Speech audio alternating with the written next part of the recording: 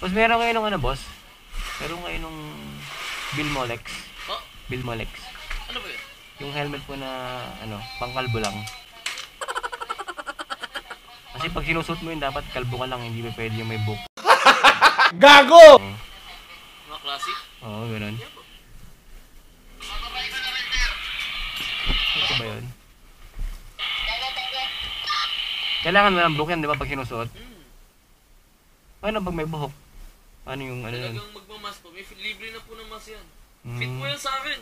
Nag-picture nga ako kanina eh. Swabe suot, boss. sabi. Walang tapon. Ayun, nag-picture ko. Paano pag malaki ulo, boss? XL Paano pag malaki, paano pag malaki ulo, boss? XL na. Meron tayong mga XL na ano, size. Ano kayo ng 6XL? Walang lumabas, boss eh. Asian wala. size pa rin eh. Hmm. Para sa'yo boss? Hindi, para sa'yo.